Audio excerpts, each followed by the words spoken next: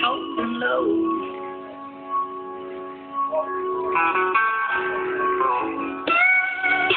Big streets, time for your real struggle. No fucking stop.